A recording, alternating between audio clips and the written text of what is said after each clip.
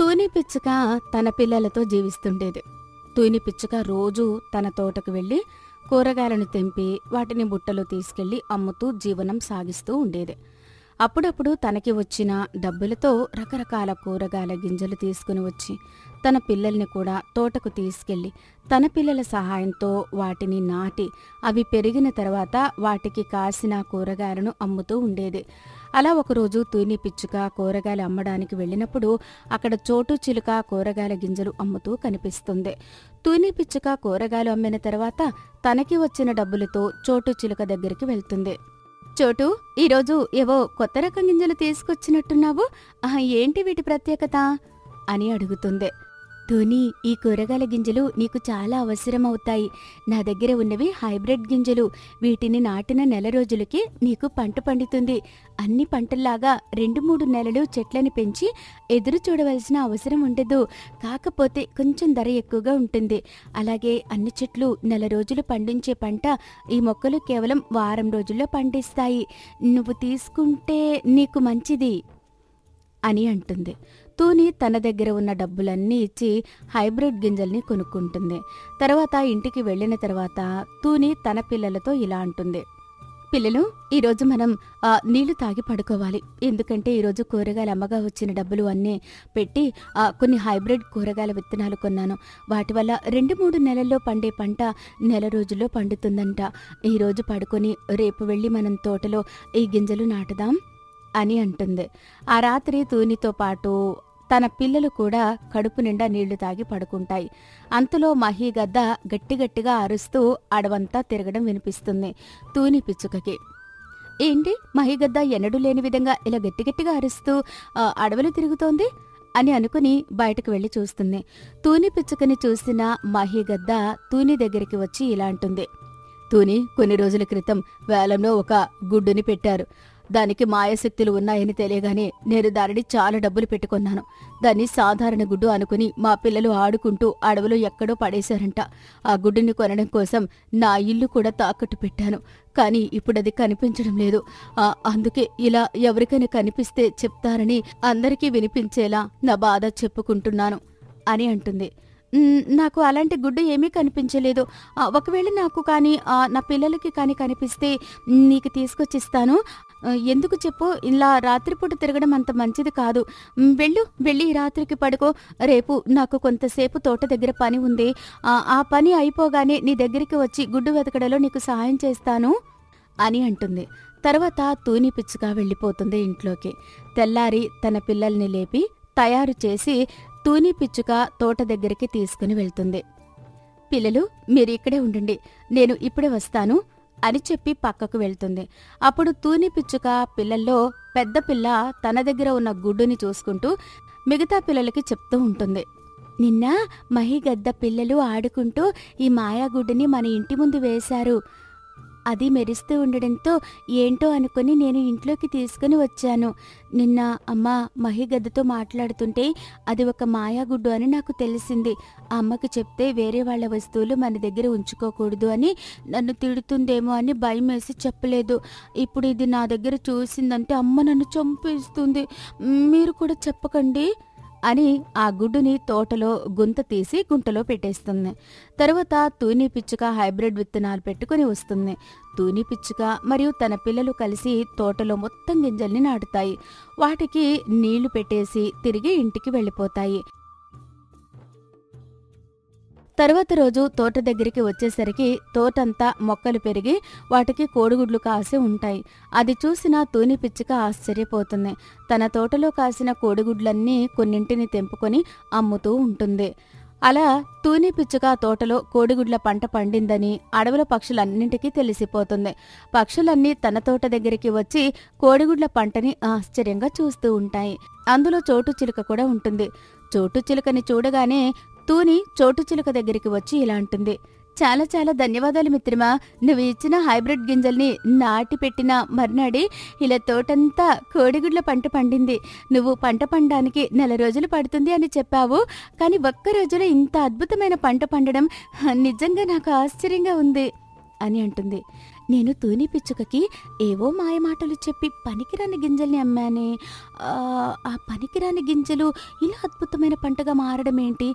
అయినా ఆశ్చర్యంగా చెట్లకి కోడిగుడ్లు పండడం ఏంటి? అమ్మో నేను తనకి ఇచ్చినవి పనికిరాని గింజలు అని తెలిస్తే ఏమైనా ఉందా? నా పరువు పోతుంది. ఇప్పుడు నాకు పేరు గొప్పగా వస్తుంది. నేను చెప్పను. అని అనుకుంటుంది. తూని పిచ్చుక పిల్లలకి మాత్రమే ఈ పంట మాయగుడ్డు వల్ల వచ్చింది అని తెలుసు. కానీ అవి ఎవ్వరికీ చెప్పవు. మహిగద్ద తన మాయగుడ్డు కోసం వెతుకుతూనే ఉంటుంది. అది ఎప్పటికీ దొరకదు అని తూని పిచ్చుక పిల్లలకి మాత్రమే తెలుసు. మొత్తానికి కోడిగుడ్ల పంట వల్ల తూని పిచ్చుక డబ్బులు సంపాదిస్తూ తన పిల్లలకి కడుపు నిండా ఆహారం పెట్టగలుగుతుంది. తన పిల్లలు ఇక ఏ రోజు పస్తులు ఉండవలసిన అవసరం లేదని సంతోషపడుతుంటుంది. తూని అనే ఒక పిచ్చుక చాలా పేదరికలో నివసిస్తుండేది. ఒకరోజు తూని పిచ్చుక తన ఇంటి బయటకు వచ్చేసరికి అక్కడ తూని పిచ్చుక కూతురు వంట చేస్తూ ఉంటుంది. అది చూసిన తూని అమ్మా నువ్వు వంట నీకెందుకు తల్లి ఈ పనులు? అని అంటుంది తూని కూతురు. అమ్మా నువ్వు రోజు నా కోసం వంట చేసి పరుగు పరుగున పని కోసం వెళ్ళడం మళ్ళీ సాయంత్రం అలసిపోయి ఇంటికి రావడం మళ్ళీ వంట చేసి ఏ రాత్రికో పడుకుని మళ్ళీ పొద్దున్నే లేవడం ఇలా నేను చూస్తుంటే నాకు చాలా ఇబ్బందిగా ఉందమ్మా. నీకు కొంతసేపు కూడా విశ్రాంతి తీసుకోవడానికి సమయం లేకుండా పోతుంది. అందుకే నేను వంట అయినా చేద్దాము అని కొంత సమయం నీకు మిగులుతుంది కదా. అందుకే ఈ రోజు నుంచి వంట నేనే చేస్తాను అని అంటుంది. తూని పిచ్చుక కూడా ఏమీ మాట్లాడకుండా పనికి వెళ్ళిపోతుంది. ఒకరోజు చిచ్చు అనే కాకి తూని పిచ్చుక ఇంటికి వస్తుంది. తూని బయటకు రా. ఎన్ని రోజులని ఆగాలి డబ్బుల కోసం? అసలు ఇచ్చేది ఉందా లేదా? తాడో పేడో ఈ రోజే తేలిపోవాలి. బయటకు రా. అని ఇంటి ముందు నుంచొని అరుస్తూ ఉంటుంది. చిచ్చు కాకి అరుపులు విన్న వెంటనే తూని పిచ్చుక బయటకొస్తుంది. చిచ్చు చిచ్చు అరవక చిచ్చు నా కూతురు లోపలే ఉంది. నా కూతురు ముందు పరువు పోతుంది నాది. ఇప్పటి వరకు నేను డబ్బు లేదని పేదరాల్ని అని చాలా అవమానాలు పడ్డాను కానీ నా కూతురు వరకు ఎప్పుడు అవి రానివ్వలేదు. మొదటిసారి నువ్వు మా ఇంటికి వచ్చి అరుస్తున్నావు. వద్దు చిచ్చు దయచేసి నిదానంగా మాట్లాడవా? అని దీనంగా అడుగుతుంది తూని పిచ్చుక. నీ కూతురు ఉంది అది ఇది అని బాగానే కథలు చెప్తున్నావు కానీ ఇంతకి నాకు డబ్బులు ఎప్పుడు ఇస్తావు? అది చెప్పు. నా డబ్బులు నా ముఖం మీద పడేస్తే నీ ఇంటికి రావాలని నాకేమైనా సరదానా? అని అంటుంది. ఓ వారం రోజుల్లో నీ డబ్బులు నీకు ఇచ్చేస్తాను అని అంటుంది. సరే ఒక వారం రోజులు మాత్రమే నీకు అవకాశం ఇస్తున్నాను. ఒక్కరోజు అటు ఇటు అయినా అస్సలు బాగుండదు చెప్తున్నా అని చెప్పి వెళ్ళిపోతుంది చిచ్చుకాకి. ఇదంతా లోపల నుంచి గమనిస్తున్న తూని కూతురు తనలో తాను ఇలా అనుకుంటుంది. అయ్యో అమ్మ నా కోసం ఇంత కష్టపడుతోందా? రోజు ఎన్ని అవమానాలు పడుతోందా? అది కూడా కేవలం నా కోసం. చిచ్చుకాకి విషయం నాకు తెలుసని అమ్మకు తెలియదు నేను కూడా తెలియనట్టే ఉండడం మంచిదే. లేదంటే నాకు ఈ విషయం తెలిసిపోయింది. అంటే అమ్మ బాధపడుతుంది అని అనుకుంటూ బాధపడుతూ ఉంటుంది. ఇంతలో తూని పిచ్చుకి లోపలికి వస్తుంది అక్కడ ఉన్న తన కూతుర్ని చూసి ఇలా అంటుంది. ఏం లేదమ్మా తెలిసిన వాళ్ళు వస్తేను మాట్లాడడానికి వెళ్ళాను. అంతే అని అంటుంది. సరే అమ్మా ఈరోజు ఏం కూర చేయాలమ్మా? ఇంట్లో కనీసం తినడానికి ఏమీ లేవు అని అంటుంది. సరే ఉండు. నేను చోటు చిలుక దగ్గరికి వెళ్ళి ఏమైనా తినడానికి దొరుకుతాయేమో తీసుకుని వస్తాను అని చోటు చిలుక దగ్గరికి వెళ్తుంది. ఏంటి మిత్రమా ఇలా వచ్చావు? ఏదైనా పని పడిందా నాతో? అని అంటుంది. అవును మిత్రమా. కానీ ఎలా అడగాలో నాకే అర్థం కావడం లేదు. నా ఇంట్లో తినడానికి కూడా ఏమీ లేవు. నువ్వు ఏదైనా తినడానికి కొంత సహాయం చేస్తే బాగుంటుంది అని అడగడానికి వచ్చాను అని అంటుంది. సహాయం అంటే కొంత డబ్బు సహాయం మాత్రమే చేయగలను కానీ వారం రోజుల్లో ఇవ్వకపోతే ఇంటికి వచ్చి మరీ అడుగుతాను నీ ఇష్టం అని అంటుంది. తూని చేసేదేమీ లేక సరే అని ఒప్పుకొని కొంత డబ్బును తీసుకుంటుంది. ఇంటికి వెళ్ళి తరువాత తూని ఆ డబ్బుని తన కూతురికిచ్చి ఇలా అంటుంది. తల్లి నాకు పనికి వెళ్ళే సమయం అవుతోంది. నేను వెళ్ళి వస్తాను. నువ్వు బజారుకు వెళ్ళి సామాన్లు తీసుకుని వచ్చి వంట చేయి తల్లి అని పారభుజాన వేసుకుని వెళ్ళిపోతుంది. తూని పిచ్చుక సాయంత్రానికి ఇంటికి వచ్చేసరికి తన కూతురు పొయ్యి దగ్గర కూర్చుని వంట చేస్తూ ఉంటుంది. తనకి కొంత దూరంలోనే ఒక పెద్ద పెట్టె ఉంటుంది. ఆ పెట్టెని చూసి తూని తన కూతురుని ఇలా అడుగుతుంది. అమ్మా ఆ పెట్టె ఏంటి? మన ఇంట్లో కొత్తగా ఉంది? ఎక్కడిది? ఆ పొద్దున నేను బజారుకి వెళ్ళినప్పుడు రోడ్డు పక్కన కనిపించిందమ్మా. ఇదేదో బాగుంది కదా అని తీసుకొచ్చాను. ఆ విషయం మర్చిపోయాను. ఇప్పుడు నువ్వు అడిగితే కానీ నాకు మళ్ళీ గుర్తుకు రాలేదమ్మా అని అంటుంది.